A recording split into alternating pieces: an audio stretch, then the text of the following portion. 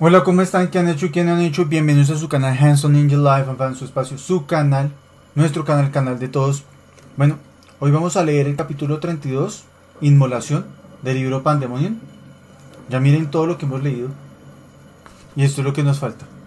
Nada, son 40 capítulos y ya vamos a empezar el, el, el capítulo 32. Antes de eso, les vamos a mostrar una figura de colección que yo creo que ya han visto en el canal. Es de un juego que se llama Ultima Online. Sería como Ultima 9, Pagan 9, o no creo, no. Pues Pagan era un juego que se llama Pagan. Eh, Ultima 8, este sería como Pagan 9, Ultima 9 Online. Es, creo que se juega online. Esta es una de las figuras, uno de los personajes del juego. Lo compré hace bastantes años por ahí un, bueno, un buen tiempo. Eh, tiene muy buenos detalles, miren la capa. Tiene como una piedra verde ahí, miren los detalles. Muy bonito. Tiene como, esto sería como un pastón o un báculo, no sé qué sea. Unas piedritas, tiene unas cosas muy bonitas ahí. Y pues eh, tiene los ojos como en piedra, una piedra gris azulosa. Bueno, él nos va a acompañar por aquí. Vamos a dejar ahí. Y acá con Alexa está ambientando en Tormenta. Bueno, también les vamos a volver a recomendar el libro de Cómo hablar con un progre de Gloria Álvarez. Y de antemano pues también les vamos a decir que cómo creen que va a terminar el libro de... Cómo va a terminar Martin. ¿Qué creen que pase? ¿Qué sucederá? ¿Qué creen que vaya a pasar? Bueno, entonces vamos a empezar eh, capítulo 32. Sin más vueltas, porque estoy hablando mucho y no hemos empezado a leer el capítulo. ¿Cierto? Vamos a empezar entonces. Vamos a ver. Aquí, en esta parte. Es que es. Listo.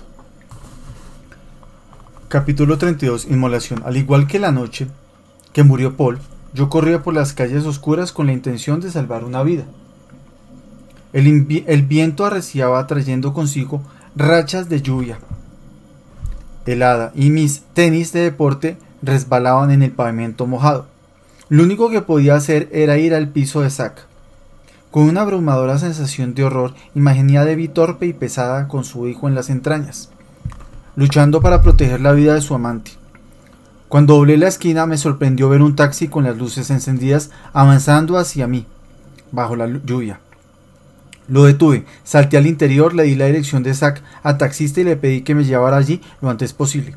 No respondió ni arrancó a una velocidad deliberadamente lenta. Ah, no, no respondió y arrancó a una velocidad deliberadamente lenta. Miramos hacia Kensington. Me incliné hacia adelante en el asiento y vi desfilar las calles vacías al otro lado de las ventanillas empañadas. Procuré no pensar en lo que ocurriría si no llegaba a tiempo.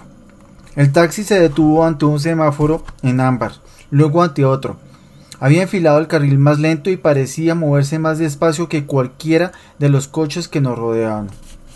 Golpeé el vidrio que me separaba del conductor, pero no me hizo caso y continuó encorvado sobre el volante. Traté de correr el cristal, pero curiosamente estaba cerrado con un candado. Las manijas de la puerta estaban trabadas. El seguro estaba puesto y se controlaba desde el cuadro de mandos. Golpeé el vidrio con más fuerza gritando y de pronto aceleramos saltándonos un semáforo en rojo y salvándonos por un pelo de chocar contra una furgoneta. De repente el conductor se volvió hacia mí. Lo siento, señor, creo que no voy al mismo sitio que usted. Spanky rió y sus dientes blancos resplandecieron, mientras su, su boca se abría más y más hasta que su cabeza estalló en una masa negra de insectos, escarabajos, escorpiones, moscas y hormigas se esparcían por todas partes mientras el cuerpo de Spanky se disolvía en, un hervidero de arañas. Instantes después nadie conducía el vehículo que había acelerado y se desviaba de su curso hacia el carril de sentido contrario. Un Honda Accord chocó contra el lateral del taxi con un violento estampido metálico y salió despedido hacia la acera, patinando sobre el asfalto húmedo. Se oyó otro crujido cuando el costado del taxi dio contra el poste de acero de una farola y se detuvo entre sacudidas.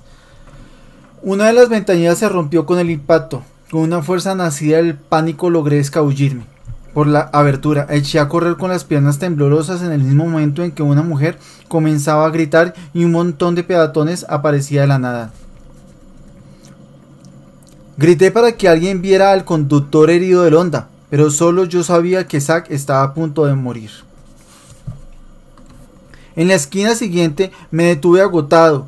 Solo faltaban unas cuantas calles para llegar. Aunque aún no me había dado cuenta, estaba llorando y mis lágrimas se mezclaban con la lluvia que me empapaba la cara. Zack no había hecho nada malo, no debía haberlo involucrado, no podía dejarlo morir, no lo permitiría. Mientras doblaba la esquina que me era tan familiar, me asaltaron recuerdos mi, mi antigua vida. Cuando compartía piso con Zack, lo dejaba en casa mientras iba a hacer la compra o bebía vino barato mientras sus amigos trataban de convencerme de que había fuerzas sobrenaturales en la tierra. ¿Dónde estaba ahora mi actitud especi ¿Dónde estaba ahora mi actitud escéptica y pedante? Me acerqué a la puerta principal y llamé al timbre. Respirando agitadamente, las luces del primer piso estaban encendidas. Buena señal, pero la puerta no estaba cerrada con llave. Mala señal. Cada vez me resultaba más difícil respirar. Atravesé el vestíbulo a toda prisa y subí las escaleras, saltando los peldaños de dos en dos. Cuando, llegó a la, cuando llegué a la puerta del apartamento de Zack, golpeé con los dos puños, retrocedí unos pasos y esperé, pugnando por recuperar el aliento. Oí a alguien en el interior. Unos pasos que se aproximaban, el pestillo que se abría. Eh, tío, ¿podrías usar el timbre? Es menos agresivo, ¿sabes? Está bien, era el mismo Zack de siempre, rascándose con pelos por todas partes. A su espalda apareció Debbie, caminando rígida. Zack, tienes que largarte de inmediato. Le advertí, va a venir ahora mismo. No podía respirar y las palabras se entrecortaban en mi garganta. ¿Quién va a venir? ¿Cómo has entrado? ¿Alguien dejó la puerta de abajo abierta? Spanky, conseguí articular. Viene por ti. El miedo asomó de nuevo en el rostro de Zack. No tenía razones para desconfiar de mi palabra. ¿Por qué por mi tío? Yo no he hecho nada. Quiere hacerme daño. Yo tirado de él hacia la puerta. Pues que te lo haga directamente a ti, joder. Debbie, ven aquí, Debbie. Estaba en bata con los brazos cruzados y expresión confusa. No entiendo, Zack, ¿qué pasa? A Martin lo persigue una especie de demonio que por lo visto está muy cabreado y va a venir a vernos. Vístete. Estúpidamente se adentraban más en el apartamento. Yo quería que salieran, pero no conseguía pronunciar palabra.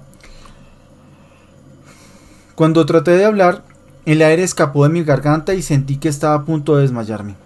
La puerta se cerró de golpe, sobresaltándonos a ambos y entonces comprendí mi error.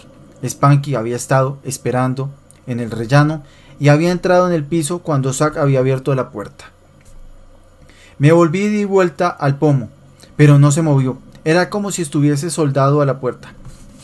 La ventana, grité, con voz ronca. ¿Se puede bajar por allí? No lo sé, nunca he intentado salir por la jodida ventana. No soy Batman. Se retrocedió por el pasillo en el mismo momento en que las luces zumbaron y se apagaron. ¿Hay alguien más en casa? pregunté a Debbie, mientras la empujaba hacia el vestíbulo. Solo los Wadas, respondió ella. Era una pareja de ancianos de más de 80 años que vivían en la planta baja y los dos estaban más sordos que una tapia. Todas las luces del apartamento se habían fundido. ¿Dónde estáis? gritó Zack.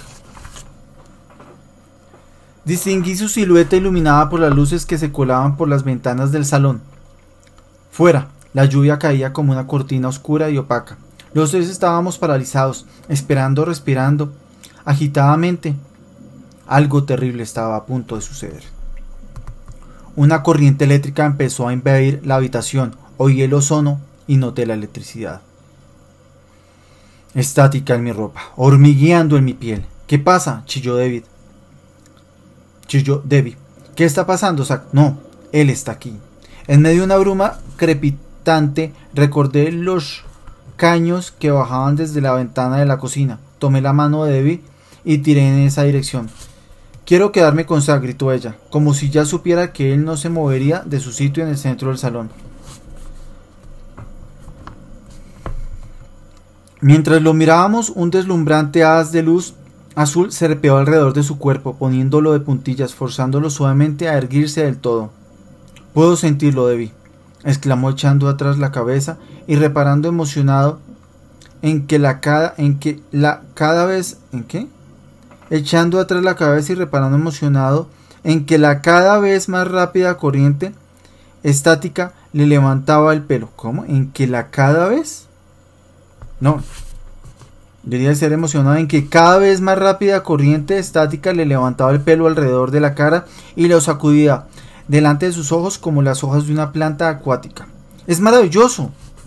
La tormenta continuó encrespándose alrededor de él como si su cuerpo fuera un generador y entonces la soga de electricidad se rompió restallando contra el rostro y el cuello de Zack, atravesándole la garganta, abriéndole las mandíbulas, iluminándole la lengua y las fosas nasales. Uy. O sea que lo volvió azul así, electrificándolo. Como si.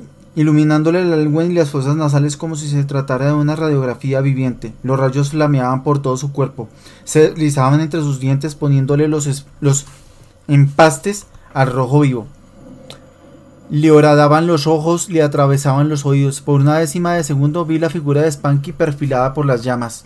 Luego hubo un enorme y silencioso fogonazo, y la tormenta finalizó. Zack se desplomó y vimos que su cabello, sus hombros y su espalda brillaban como las brasas de un fuego mortecino.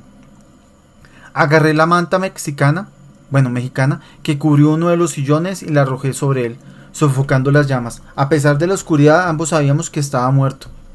El hedor dulzón de la carne quemada impregnaba la habitación. Debbie prorrumpió en alaridos, así que la abracé con fuerza y no la solté hasta que sus sollozos se convirtieron en un lloriqueo uniforme.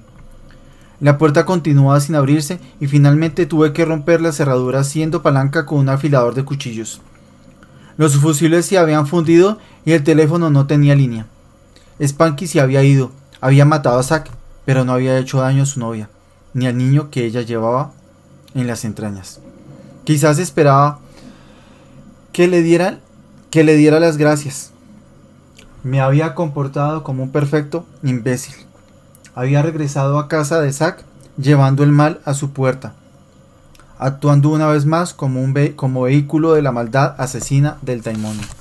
Bueno, ahí terminamos el capítulo 32, Inmolación que terminó ese capítulo fue trágico, ya falleció Zack, dejando a Debbie viuda y a su futuro hijo huérfano o huérfana, porque se nos olvidó si iba a ser hijo o hija.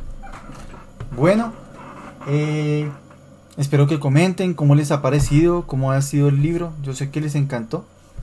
Ha sido un libro fuerte, peligroso y preciso, pero genial y amañador. Eh, ¿Qué les voy a contar más? No, pues recuerden que estamos subiendo Monkey Island. Eh, vamos a subir este, precisamente, ¿qué día es hoy? ¿Qué día es hoy?